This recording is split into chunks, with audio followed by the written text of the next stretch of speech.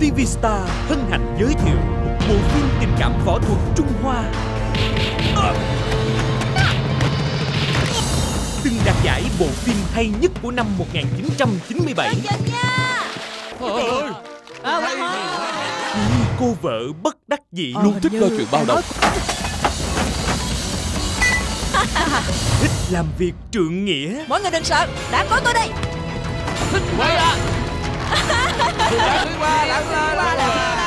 bị quỷ ám rồi. Gian phu của Thúy quá. Hay là ông tìm cách giải quyết giùm tôi đi. Con người của cô thiệt là Ban đầu tại ông một hai đời cưới tôi làm bà năm thôi. Chưa bao giờ tôi yêu cô. Đón xem Miêu Thúy Hoa lúc 21 giờ hàng ngày trên TV Star SCTV 11